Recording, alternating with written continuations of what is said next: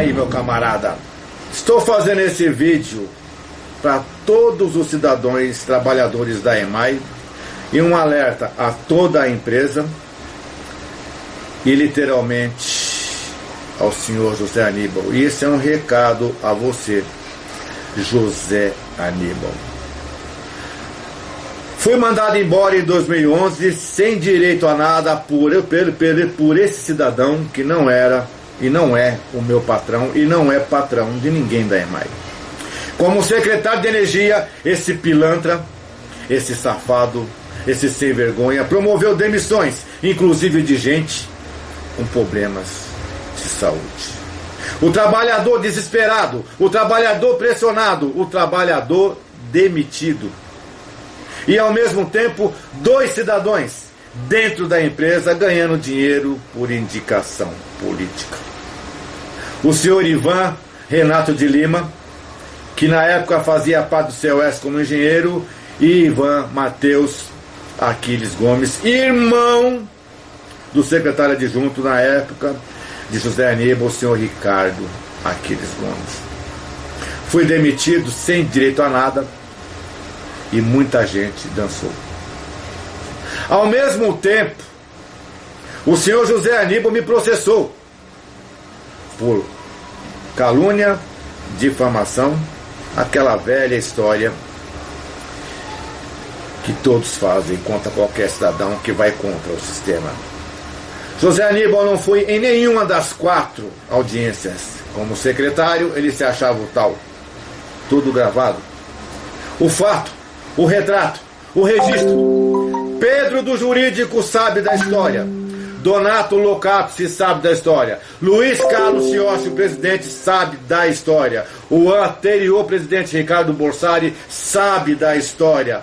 Chicão, presidente do sindicato, sabe da história. O grande percussor do acordo feito entre o Zé Aníbal e o Silvano sabe da história. E atualmente o advogado de José Aníbal, Ailton Trevisan, era o interlocutor e aguardando um acordo que já tinha sido feito, no qual eu tive que me humilhar para não expor as pessoas da EMAI para poder fazer o acordo. E o acordo foi feito. O fato e a tristeza. Pedro, do jurídico da EMAI, fez a sua parte. Já o Donato foi o grande sem vergonha. O grande safado o grande pilantra da empresa, no qual acabou prejudicando a mim, o meu acordo com A, com esse político. Não importa. Agora já passou o tempo. O fato é, se arrependimento matasse, eu estaria morto agora. Porque eu quis defender, eu quis poupar qualquer incidente com Donato e com Pedro. Por quê? Porque eu sou alguém que defende a categoria trabalhadora. E não sou sindicalista. Eu apenas tenho decência, essência, dignidade. E para não expor o Pedro e o Donato, eu esperei e o Donato me enrolou. Quando assumiu o novo presidente já era tarde. Agora, o senhor José Aníbal, através do seu assessor Silvano, que saiu fora, colocaram o advogado Ailton Trevisan. E sabe o que Ailton Trevisan disse para minha surpresa? Porque tudo que eu estou pedindo pedir para o advogado não foi a questão de pegar os meus direitos do acordo que foi feito, não. É para fazer uma fala, para conversar literalmente com José Aníbal, porque eu tenho decência. Eu cumpri a minha parte no acordo junto com José Aníbal. Cumpri a minha parte depois de ser humilhado. Tá aí o, o processo. Tá aí o acordo assinado por mim. Dizendo que eu não posso nem fazer nenhum vídeo contra José Aníbal. José Aníbal rompeu esse acordo. Porque, na verdade, ele fez eu assinar, eu, na minha humildade, na minha decência, só que ele esqueceu de um detalhe: eu não sou otário.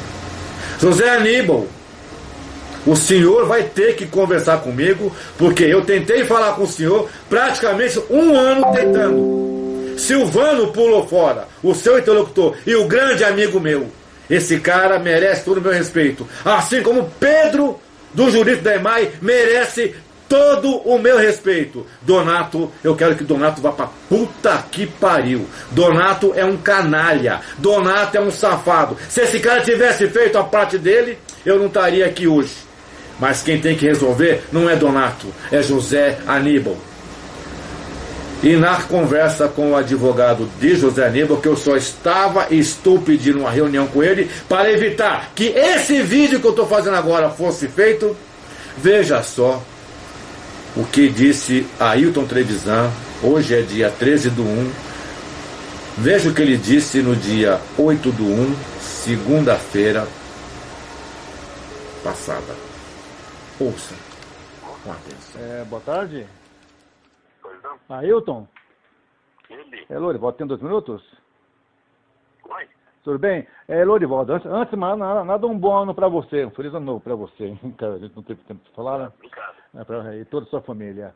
É, eu tô ligando pra você pra aquela questão lá do, do Zé Aníbal, que eu tive lá na, no comitê dele, e, e voltou pra você a, a situação. Olha, esquece, eu não vou te atender mais, você procura seus direitos. Por quê? Porque eu não tenho nada para acrescentar, e ao que eu sei, ao que eu vi, ao que eu estudei, eu não tenho mais nenhum direito. Você fica à vontade para procurar os seus direitos. Mas a minha questão não é procurar os direitos, é conversar pessoalmente com o Zé Aníbal, porque eu tenho, eu tenho, um acordo com ele, eu acho que você participou desse acordo, né? Foi- sei, foi- ele não quer conversar mais. ele não quer conversar mais? Não quer conversar mais. E como é que eu faço? Faça o que você quiser, procura um advogado, Ah, mas se puder, por favor, me ligar mais, eu te agradeço. nossa, eu, tô, eu, te- eu te ligo, te dou um feliz ano novo, gostei e você me atende esse com essa rispidez, Não, Ah, tá também, mas Ah. eu não posso, não vou conseguir resolver seu problema. e quem é que pode? Eu não, eu não consigo, não sei.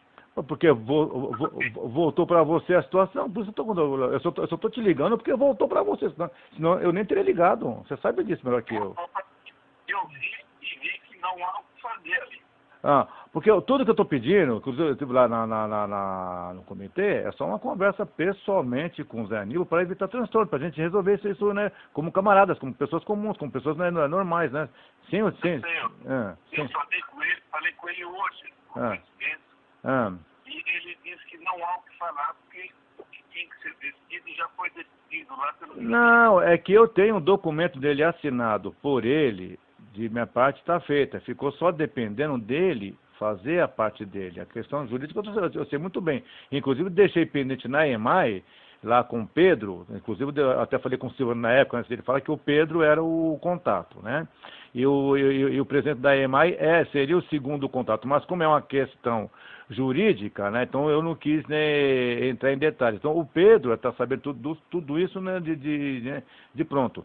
E nesse meio tempo houve um acordo entre eu e o José Aníbal. Ele sabe disso, tem até documento assinado por ele. Tá bom, eu só estou te dizendo que eu não posso fazer mais nada. Ah, e, e o Zé Aníbal falou que não vai conversar comigo, é isso? Falou que não vai, não tem condição, porque não tem o que falar contigo. Nossa, aí é, aí é complicado Aí vontade para fazer o que você quiser. Aí me, me, me mata uma curiosidade, Ailton. Nesse caso, como, como cavaleiro, como pessoa comum, como uma pessoa cidadão comum, o que, que você me aconselha a fazer? Fora do âmbito jurídico, porque a nossa questão não é jurídica, é política. E eu não sou político. Eu não sei o que te aconselhar, desculpa. Não estou preparado. Não está preparado para pergunta. Tá bom, então. Então a, a, a, minha, a minha saída então é, é- é só procurar os direitos? Fazer o que, o que você achar que deve ser feito. Por, por, por isso que eu estou te pedindo um conselho, porque você, como uma pessoa jurídica, e eu sei que você tem muita visão nisso aí, você seria a pessoa perfeita para isso. Eu não tenho como te ajudar. Meu cliente é o Zé Aníbal e o que eu aconselhei ele, ele fazer o que ele acha que deve ser feito. O que ele acha que deve ser feito, ele não tem o que falar com você. Eu não posso Hum. eh, te ajudar. Tá bom, tá bom, então. Abraço, hein? Um abraço, obrigado. Pois é. Procure seus direitos. Procure seus direitos. Para você que está vendo esse vídeo, você pode julgar. Você procurou. Você pode fazer o que você quiser. Você só não pode fazer uma coisa: dizer que eu estou mentindo. Porque a EMAI, voltou a ser palco de sacanagem e safadeza. Eu fui mandado embora porque denunciei Matheus Aquiles Gomes e na época também estava José Ivan, é, José, perdão, Ivan Renato de Lima, que hoje os dois estão lá felizes e no paraíso. Ivan Renato Lima, prefeito regional de Pirituba, ganhando R$ 19.700 por mês. Matheus Aquiles Gomes, quando eu fui mandado embora, ele saiu para trabalhar com o vereador Aurélio Nomura. Na sequência, ele voltou a trabalhar com o Níbal lá em Brasília. E hoje ele está com o vereador Gilberto Nascimento, ganhando 17 mil reais. E eu só querendo o que é meu de direito. Mas pasmem, se você ainda acha que eu estou errado, a canalice voltou a acontecer. Hoje, colocaram, literalmente, hoje não, ano passado, colocaram Bianca Martins Lepiquet, irmão de Fábio Lepiquet, ex-secretário adjunto de Bruno Covas, vice-prefeito. Salário dela de 14.176. Uma pilantra, uma safada, uma sem vergonha, todos canalhas. E eu só querendo fazer um acordo, querendo que o José Aníbal cumpra o acordo. Procure seus direitos. Procure. Não tenho advogado. Quem me defende, defende porque quer. Eu não gasto um centavo com ninguém. Mas eu vou deixar aqui um recado para todos os funcionários da EMAI.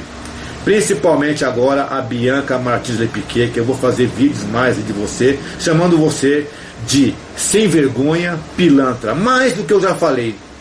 Ao mesmo tempo, vou fazer vídeos do governador, safado, sem vergonha. E com certeza vou fazer vídeos. Mas antes, eu quero que José Aníbal veja esse vídeo. José Aníbal, você é homem? Você é homem? Pois eu vou resgatar a sua hombridade. Ou então eu vou demonstrar a sua canalice, a sua safadeza. O único poder que você tem, José Aníbal, tá? É o do dinheiro. Mas o da palavra você não tem nenhum. Vamos conversar? Eu estou solicitando uma reunião com você. Te prepara. Porque eu vou falar com a Késia, eu vou ligar aí dia sim, dia não.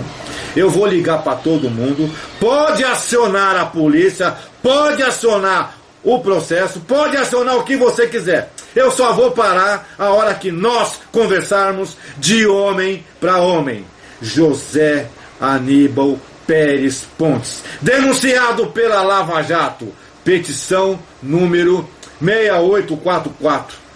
Vantagens indevidas não contabilizadas no âmbito de campanha eleitoral de 2010.